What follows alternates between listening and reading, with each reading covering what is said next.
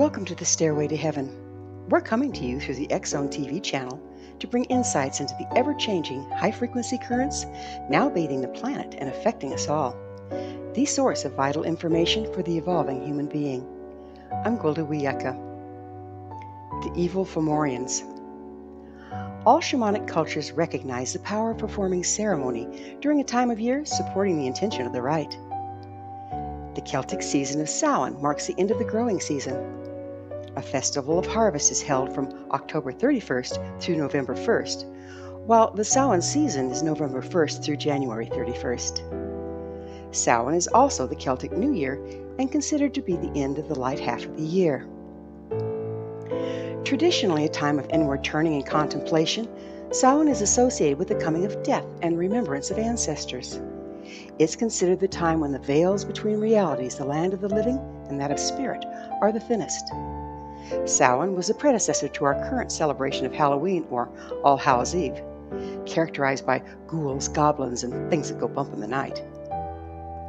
Due to the thinning of the veils and the natural sorting and discerning activities of the harvest, it's the best time of year to engage in the battle of the evil Fomorians.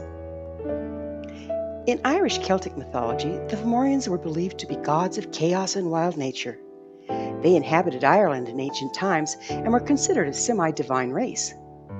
Fomorians were thought to be demonic prehistoric giants who raided and pillaged Ireland. One of my favorite Celtic shamanic teachers, Tom Cowan, addresses the myth of the evil Fomorians from a shamanic perspective. He explains these so called demons are actually created from our half formed dreams, wishes, and intentions. These unmanifest, unprocessed wishes and dreams tie up our creative power or compromise our frequency. This leaves us vulnerable to plague and misfortune as individuals and as a community. Each All Hallows Eve is a sacred duty of every good Celtic shaman to battle the evil Fomorians in order to protect the communities from plague and misfortune the following year. We've been conditioned to be consumers. It's easy to idly wish, dream for things, totally unaware that we're actually using our personal power on the quantum level to set our intent in motion. Once our intent is set, part of our personal power engages at the quantum level to build an energetic matrix around which our creation can start to manifest. Soon, opportunities and promptings start to show up in physical reality. Generated by the matrix, our intent is set at the quantum level.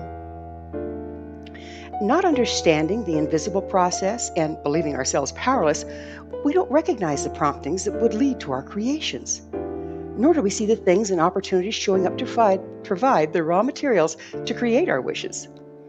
Therefore, we don't take advantage of them. Powerlessness is a passive state rather than an active one, so we don't follow up on our creations. We simply give up, forget our original intent, and go on to the next wish. We never dissolve the old structure, leaving part of our personal power bound in an abandoned matrix. We don't understand the importance of going back and freeing up our energy should we decide the original wish is no longer something we want to pursue. Life becomes complicated by the proverbial too many irons in the fire with none getting hot. Passing fancies tie up energy and resources when the spiritual aspect of our intent is not managed. This situation eloquently demonstrates how unconscious we are in the use of personal power. It shows what happens when we fail to honor the expansion and contraction of life. Breathe in and release, create and destroy. We're so programmed to forever seek more, we actually ensure our inability to manifest. The Celtic season of Samhain is an excellent time to review the things we've wished for or tried to create in the past year and reevaluate if they still deserve our zeal. If not, we can simply intend to reclaim the personal energy that's tied up in the project before letting it go. Conscious management of personal power is key to an abundant and healthy life. As an individual, family, or community can greatly benefit from deeply examining what's being considered for creation in order to discern if it's worth the investment of personal power and time and energy. By closely scrutinizing our wants, we can begin to recognize when they're driven by consumer programming rather than true need or desire. Once a worthy goal has been established, keeping a journal of what we initiate is a powerful way to anchor our intent. It also provides a great reference during Samhain to reevaluate and release what no longer deserves our energy, freeing power to manifest anew.